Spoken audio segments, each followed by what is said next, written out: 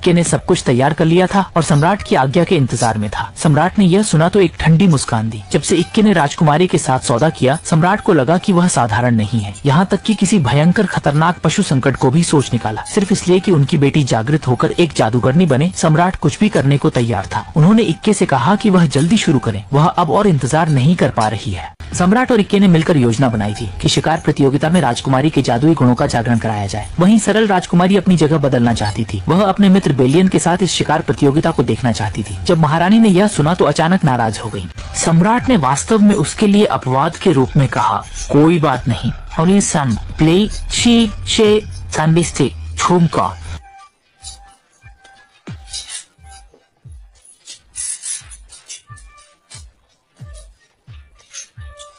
जाओ और अपने दोस्तों के साथ देखो। उसने ठुड्डी पर हाथ रखते हुए हल्की सी हँसी दी। लेकिन महारानी ने जो कहा, वह गलत नहीं था। राजघराने के लोग कहीं भी हों, उन पर सबकी नज़रें होती हैं। इसलिए तुम्हें हमेशा दूसरों की नज़रों के प्रति सतर्क रहना चाहिए। मैंने तुम्हारे लिए अलग से सीट तैयार की है, तुम वहीं अपने दोस्तों के साथ मस्ती करो। उसने ये इंतज़ाम केवल इसलिए किया क्योंकि इक्के ने कहा था कि राजकुमारी को उसी जगह बैठाना है जो उसने तैयार की है। खुशी से झूमती लिखी आभार व्यक्त कर तुरंत ही बेलियन को ढूँढने निकल पड़ी, लेकिन उसके पीछे हमेशा एक परछाई सी लगी रही। लेकिन ने असहनीय होकर पीछे मुड़कर गुस्से में पूछा कि तुम आखिरकार कब तक मेरे साथ रहोगे? मजबूरी में काम कर रहा शूरवीर मुश्किल से समझा पाया। आपको असुविधा हुई हो तो क्षमा करें। मैं केवल राजकुमार के आदेश पर राजकुमारी की सुरक्षा करने आया हूँ। लिखी ने हल्का सा सिर झुकाकर कहा, मैंने अपने भाई को पहले ही बता दिया है कि मैं अपनी सुरक्षा खुद कर सकती हूँ। मुझे किसी सुरक्षा की आवश्यकता नहीं है। तुरंत मेरी नज़रों से ओझल हो जाओ। मजबूर आदेश से उसके साथ आए शूरवीर ने मन में सोचा कि भाई बहन दोनों की स्वभाव कैसे इतनी मिलती जुलती हो सकती है। जैसे ही खतरनाक राजकुमारी ने पलटकर बैलियन को देखा। उसका मन पल भर में बदल गया और उसने खुशी से चिल्लाते हुए कहा, बैलियन, जो उसे ढूंढ रहा था। बैलियन ने भी जब लिखी को देखा तो खुशी से आगे बढ़ते हुए एक कदम लिया तो उसे अपने चेहरे पर एक हल्की सी हवा महसूस हुई।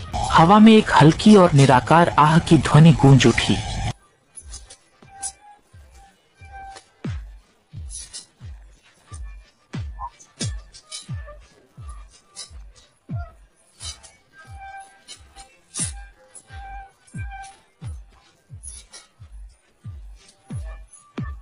कोई नहीं था। सिर्फ़ बुलंद ने उलझन में पूछा कि वह इतनी देर से क्या देख रहा था। तभी बैलन को पता चला कि अभी जो कुछ हुआ, वह केवल वही देख सकता था। उसके मन में भारी बोझ था। यह समझ में नहीं आ रहा था कि वह व्यक्ति उसे कैसे जानता था। बेलियन समझ नहीं पा रहा था कि क्या हो रहा है। उसने चुपचाप जवाब दिया कि वह पूर्व की ओर से जंगल से आ रहा है।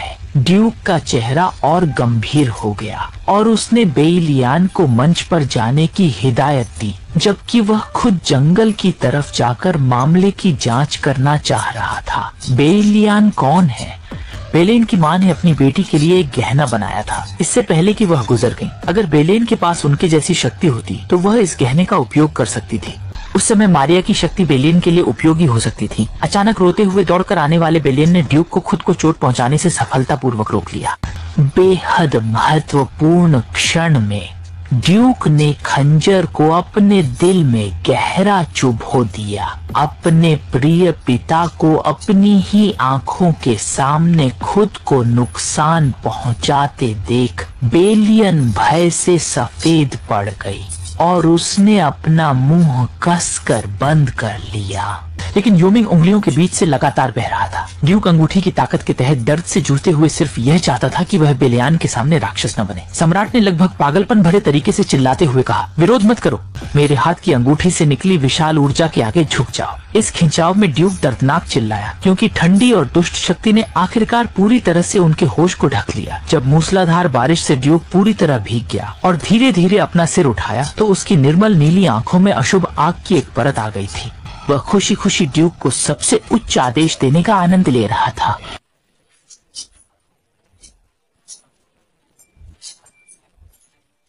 ड्यूक का खूनी खंजर धीरे धीरे बेलियन की दिशा में मुड़ गया।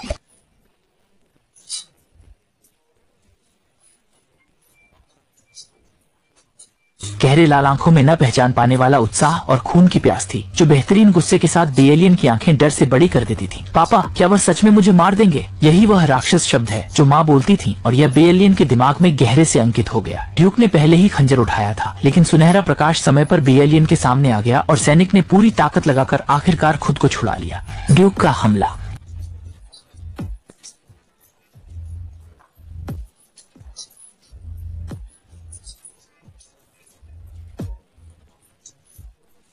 मम्मी और पापा के लिए मेरा अस्तित्व ही सुरक्षा है।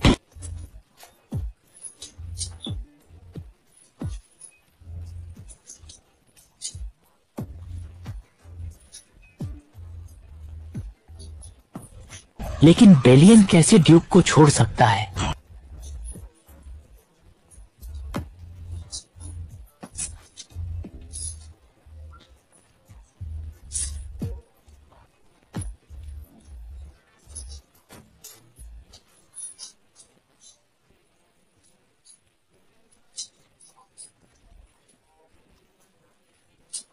आदमी पीछे मुड़ा और ज़ोर से डांटा, क्या तुम अभी तक नहीं समझे? वह जिस हाल में अभी है, वह अपनी ज़िंदगी में कभी नहीं चाहता था कि तुम उसे इस रूप में देखो। इस जानलेवा पीछा करने की छवि में बैलियन ने मौका पाकर पूछा, क्या आप मेरे पापा के दोस्त हैं? तब इनको मानो कोई मज़ाक सुनाई। अजीबो करीब लेगिस के दोस्त कैसे हो सकते हैं? मैं तुम्हारी माँ मारिया का दोस्त हूँ। आदमी उसे दर्शक दीर्घा के प्रवेश द्वार तक ले गया। यहाँ पर अन्य लोग देख रहे हैं, इसलिए चाहे वह सम्राट ही क्यों न हो, वह उस पर हाथ नहीं उठा सकता। बेलियान चिंतित था, लेकिन उसने कुछ कहने से पहले ही बूढ़े ने उसे रोक दिया। मुझे पता है की तुम्हारे मन में कई सवाल है, लेकिन ज़्यादा समय नहीं लगेगा। एक चमक के बाद वह आदमी उसके सामने फिर से गायब हो गया, और यहाँ लीची भी हर जगह बेलियान के निशान खोज रहा था। अचानक बेलियन को सिर से पाँव तक भीगा हुआ और उदास देखकर वह बहुत चिंतित होकर उसकी ओर दौड़ा और बेलियन का हाथ पकड़ लिया। पूछा, क्या बात है? इसी बीच मैक्स भी बड़ी हड़बड़ी में आया? और घोड़े से उतरकर उनकी ओर बढ़ने लगा। मैक्स को देखकर बेलेन ने मानो अपनी आखिरी चिंता भी छोड़ दी। आंसुओं से भरी आँखों से बेलियन ने विनती की, मैक्स, कृपया मेरी मदद करो। किसी को नहीं पता था कि जानलेवा खतरा धीरे धीरे करीब आ रहा था। रिहा की गई दानव जानवर दोनों की ओर दहाड़ते हुए दौड़ी और मैक्स इतनी दूरी पर थे कि रोक नहीं सके। जीवन मरण के बीच बेलियन ने लिखी को धक्का दिया और खुद दानव के विशाल खुले जबड़े का सामना करने के लिए खड़ा हो गया। भयानक प्राणी की दुर्गंध आगे की ओर बढ़ी। मानो उसे एक ही बार में निकलने वाली हो। कुछ दूरी पर मैक्स ने दिल दहला देने वाली गर्जना की। मरने की इच्छा तीव्रता से जल उठी। मृत्यु के कगार पर उसके दिमाग में सभी सुंदर चित्र एक के बाद एक दिखाई दिए। उसके सबसे प्रिय परिवार और दोस्तों को वह बिल्कुल भी नहीं छोड़ सकता। जीवन और मृत्यु के बीच खड़े बेलियन ने राजकुमारी की रक्षा करने का निर्णय लिया। उसने सोचा कि शायद यही उसका अंत है, और उसने मजबूरी में अपनी आँखें बंद कर ली। उसने मन ही मन मैक्स से माफ़ी मांगी, क्योंकि अगर वह मर गया तो मैक्स निश्चित रूप से बहुत दुखी और अकेला हो जाएगा। पछतावा और अफसोस उसके दिल में गूंज रहे थे कि उसे कभी भी यह एहसास नहीं हुआ कि ड्यूक को कितनी पीड़ा सहनी पड़ी है। उपस्थित सभी लोग भयभीत होकर नाचने लगे।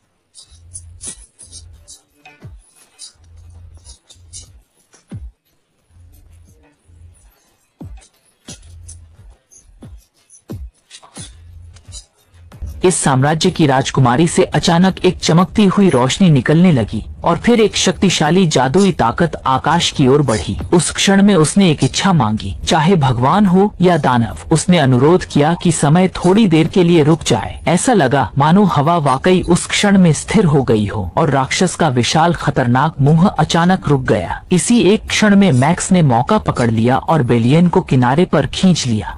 हवा का प्रवाह सामान्य हो गया और लोग घबराकर चारों ओर बिखर गए और जादुई जानवर खाली स्थान पर झपटा।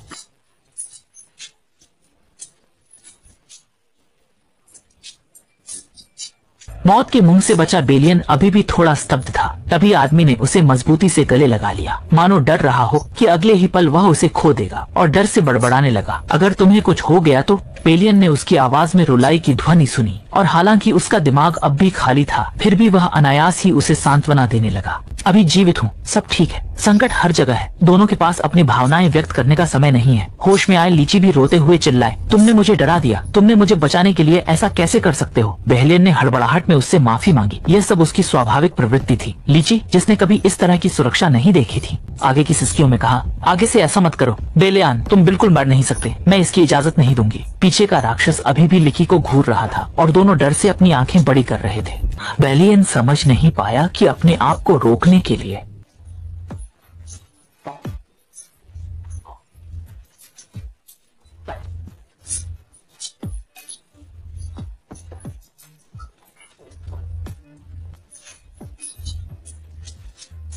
उनकी स्थिति के बारे में वे अभी तक नहीं समझ पाए थे कि राक्षस के शंकोलन का कारण क्या है। दूसरी तरफ़ से उस पर फिर से क्रूरता से हमला किया गया। नाइक्स ने गुस्से में एक जोरदार चीख के साथ विक्टर को बुलाया। बुलावे पर विक्टर तुरंत प्रकट हुआ। टकराहट की गर्जना के बीच अपने आप को दृढ़ता से विरोध करता हुआ। आमतौर पर लापरवाह रहने वाले विक्टर के चेहरे पर इस समय एक अनोखा भाव दिखाई दे रहा था। कृपया मेरे पीछे खड़ी रहें, राजकुमारी। लेजी हैरान होकर उनकी पीठ को देख रही थी। राक्षस उत्तेजित हो गया और हवा के साथ उसके शरीर का आकार कई गुना बढ़ गया। उसकी उंगलियाँ ठंडे प्रकाश के साथ चमकती भयानक ताकत बन गईं। पहले से भी ज़्यादा खतरनाक हो गया है। मैक्स और विक्टर ने मिलकर राक्षस पर हमला किया। लेकी अपने हाथों को देख रहा था और याद करने की कोशिश कर रहा था कि अभी अभी समय कैसे रुक गया था। क्या वो जादू था? मैक्स और विक्टर पहले ही युद्ध में शामिल हो चुके थे। आदमी ने अपने फुर्तीले शरीर से राक्षस के विशाल शरीर पर छलांग लगाई और अपनी धारदार तलवार से उसे भेद दिया और मौत के डर ने उसे केवल कांपते हुए अपने आप को छुपाना पड़ा।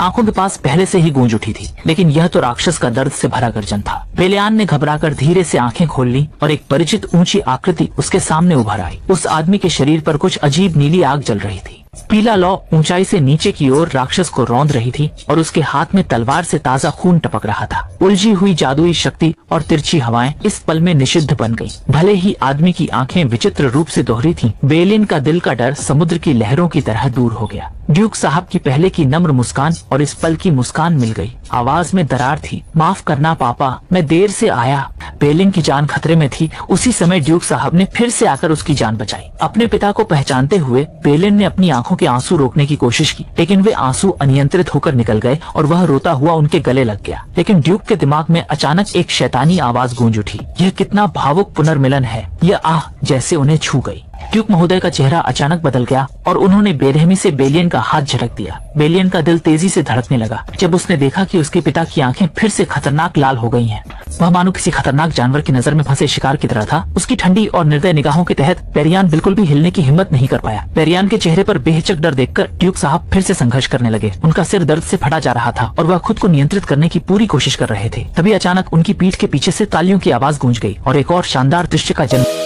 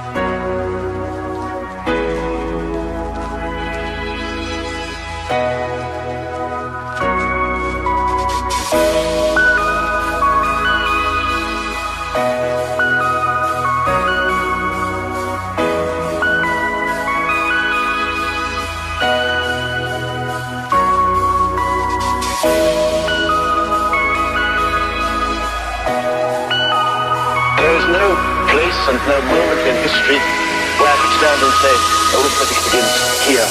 Now.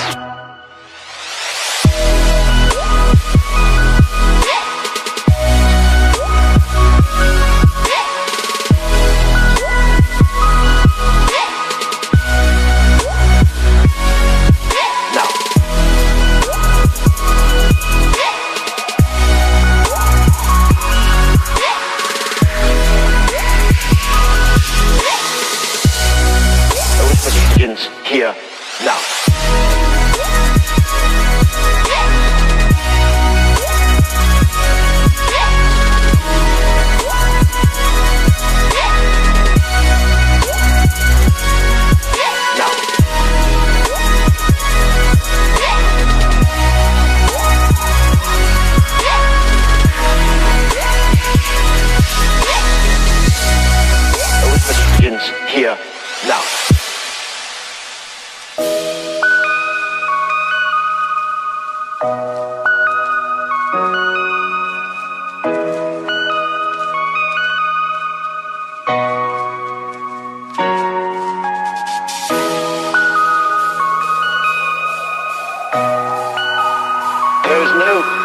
and no moment in history where I could stand and say, arithmetic begins here, now.